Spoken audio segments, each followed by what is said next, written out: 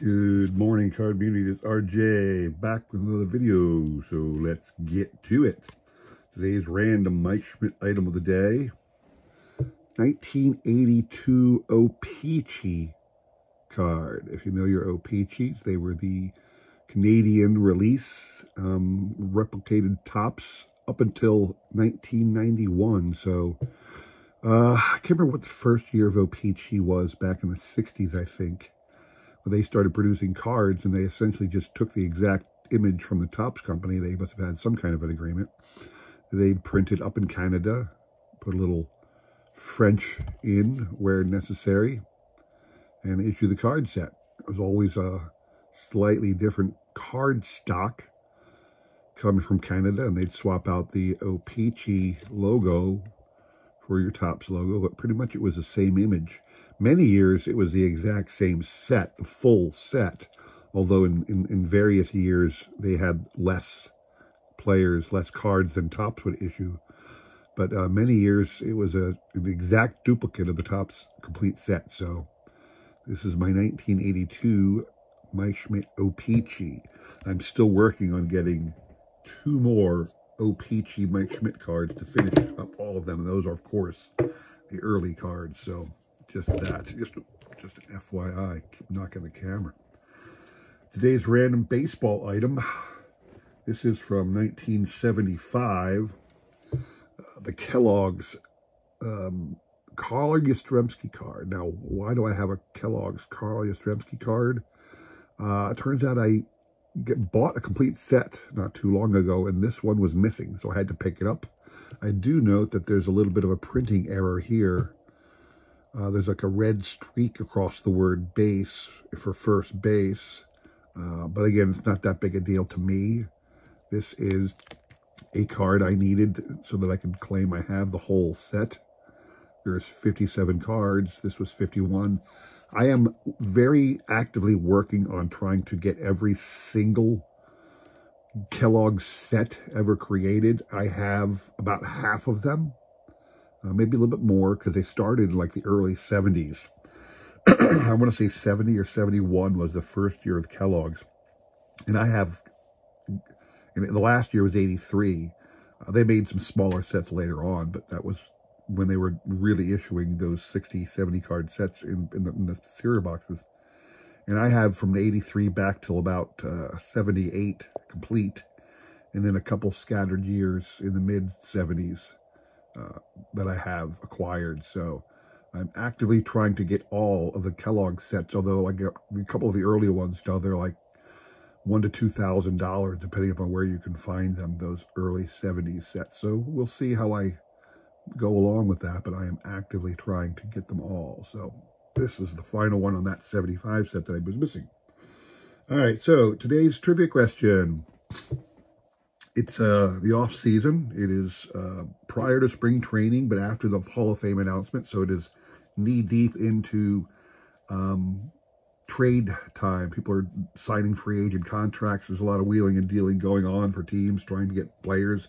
In fact, up here in Philly land, uh, the big news is that Rhys Hoskins, who was out all last year with a blown out knee, um, Rhys Hoskins has signed with the Brewers. Now, there's mixed emotions up here in Philadelphia for that because some people think we should have brought him back. Others think, you know, I'm sorry, Reese, we probably weren't, we might have not signed him because uh, he would have wanted a lot of money and he was good, but not awesome. You know, he was good, but not great. And I, I'm happy that we let go, and let him go. There was no, there was no room for him on this team anymore. You know, thanks for the memories. We'll always remember you fondly, but it's time for you to go to somebody else who needs you. We do not need him anymore. We just don't. We need pitching. so uh, I'm one of those who thinks, okay, thanks for the memories, Rhys. Always remember you fondly, but uh, good luck to you. so in light of the um, the presence of uh, trades and, and free agent signings, the trivia question today is that kind of thing. So, in 1971, Rick Wise of the Phillies pitched a no-hitter, a legendary no-hitter because he also hit two home runs in that game to provide most of the offense on his own. Rick Wise throws a pitch, throws a no hitter, and pitches a perfect and and hits two home runs in the same game. A legendary feat that happened in 1971. In the off season of 1971-72, the Phillies traded Wise. The fans were outraged, absolutely outraged, but they got somebody in return for Rick Wise. Uh, it was a very well-known trade. During the off season of 1971-72, who did the Phillies acquire in the trade of Rick Wise? Uh, send me that answer. All right, your prize for that will be two 1983 Donruss All-Star Hall of Famers. These are the five by set or three by five, the bigger cards from the Donruss All-Star set. These were individually packed cards. Or I don't know how many cards came in a pack, but they were sold separately. And you have George Brett and Rod Carew. Rodney Cline Carew. Check that out. George Brett and Rod Carew are your prizes. If you can answer that question, send me an email with the correct answer. I will include my email in the description below, along with a repeat of that question. You will have today and tomorrow to answer, and we will pick a winner on Sunday, all right? Good luck to everybody on that. So today what I want to show off a few things because I purchased a collection from some guy. Some guy put up on uh, Facebook Marketplace that he was selling the 1985 Donruss and Fleer sets, both of them together. So I snagged those up because, believe it or not, I hadn't gotten those two sets yet. I, I don't have a lot of the mid-range Fleer and Donruss sets. I just never bothered to get at them. I was a Topps only kind of a kid. So I really didn't buy any Donruss or Fleer uh, articles or boxes or stuff back in the day. Now, as I'm really, really trying to do sets, I'm finding myself going back and picking them up. So, um, this guy sold me the 1985 and the 1985 or 1985 Fleer and Donruss sets. So I have them here. Here is, and I got a I got to repackage these. I'm, I'm to have to go up to the card store today and buy boxes for these because he's got them in this awful, awful old style um, card uh, pages, not the Ultra Pro, so, you know, not UV quality and whatnot. Here's the 85 Donruss set, whole thing, plus the puzzles on the back. I have the whole Lou Gehrig puzzle thing, which is great because I do collect all of the puzzles of Donruss, and I have most of those. In fact, I have, I try to get two copies of the uh, puzzles so that I can put one together and keep it in a binder and then keep a loose set, never to be touched. And I also got, like I said, the 1985 Fleer set, complete set here. And he's got these little, he actually has like little twist ties, or what they call these things, zip ties for the uh, to keep it together instead of putting in a binder. But it wasn't just that that he sold me. It wasn't just that. So I also got given to me for Fleer uh, the first box set Fleer ever did, a 1985 limited edition. Now he doesn't have it in the box. He's just got it loose here. I obviously already own this set in box format so to have uh, loose copies of some of them is interesting. He also had several stickers from various years.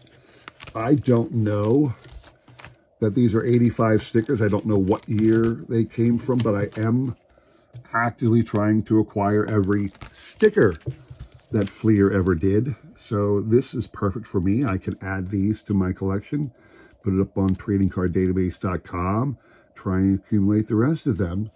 So that was awesome. But not to be done yet, not yet done. There was more that he got. And, and all this was, uh, it was a $100 purchase. I think it was a good deal because it wasn't just those two sets. It was all this other stuff. The full 1985 Action All-Star. These are the uh, 1985. Yeah. This is the full set from 1985, 60 cards uh, of the, the five by three by five size cards, just like that one back there. Um, full set of 60 Action All-Stars. Very cool. And, and again, I already have this set, so this is a, an interesting trade bait kind of thing. But lastly, something I didn't have which I was thrilled to have. The 1985 Donruss Super Diamond Kings. These are the uh, 5 by 7 sized Diamond Kings. They matched exactly the normal size Diamond King cards, but they were sold simply as a box set. They were sold as a pack that you would purchase by itself. And not only did it have all of the 26 Diamond Kings, it had a mini puzzle. This was the Lou Gehrig puzzle that you got in your Diners. This is a smaller version of what you got in your Donruss card packs, but this was only available in this super thing, and it, you know it came already put together. Um, so I don't have all, I don't I don't have all the cards here because I've started putting them in binders, and I realized I ran out of those. I ran out of these size pages of binders, binder pages. and I got to go buy some more. Um, but that was the final thing I got in that little collection. So for a hundred bucks, um, 1985 Donruss Fleer, 1980, I'm sorry, 1985 Fleer, 1985 Donruss, and actually I forgot, 1985 Fleer Update he included as well. I got the update set for Fleer, and I already had that. So 1985 Fleer, and 1985 Fleer Update, 1985 Donruss, 1985 Fleer limited edition box set, a couple stickers, an extra Lou Gehrig puzzle. Um, well, I shouldn't say an extra. I got I got an extra one for myself. Um, the 1985 Donruss Action All Star uh, three by five card set, and the 1985 Donruss Super Diamond King set five by seven one. All that for a hundred bucks. So I think that was a pretty awesome deal I made. Pretty awesome purchase on my end. I'm very happy to have pulled the trigger on that. It's not often you get a good deal on Facebook Marketplace. Too many people selling a 1982 Topps Mike Schmidt for like $30. I think it's worth it. Because it's vintage, it's old, must be worth a lot of money. No, I'm sorry, it's not. Anyway, so that's what I have for you today. I hope you enjoyed that video. I'd love to see if you guys had any great pickups recently. Love to see that on video. I am nearing 400 subscribers.